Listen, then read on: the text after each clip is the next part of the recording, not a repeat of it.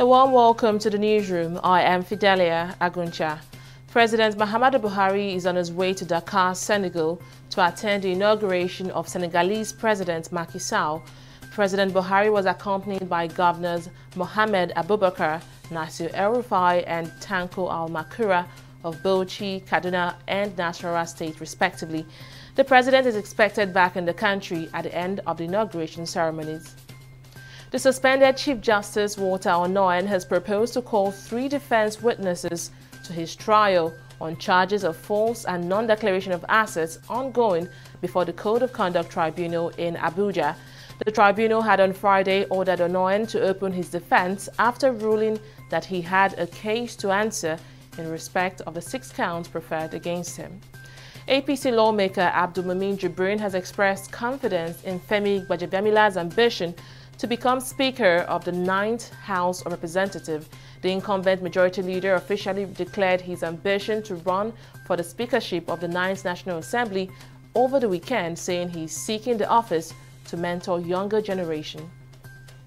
A federal high court in Abuja has discharged and acquitted former Senate President Adolphus Wabara and two others of allegations of bribery leveled against them by the federal government in 2005. The court in its ruling said the prosecution lacked witnesses to prosecute the defenders. The Minister of Budget and National Planning, Udo Udoma, says the federal government will revert to the January to December budget cycle beginning with the 2020 national budget Udoma, while defending his ministry's 2019 budget in the Senate, said the executive was willing to comply with the provisions of the Fiscal Responsibility Act of 2007 by submitting the medium-term expenditure framework and fiscal strategy paper to the National Assembly on time.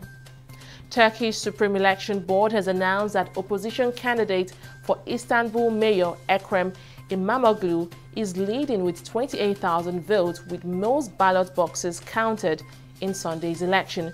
Result from Sunday's ballot also showed President Recep Tayyip Erdogan, who is AKP's uh, candidate, was set to lose the capital Ankara in what will be a major upset for the ruling party in power for a decade and a half.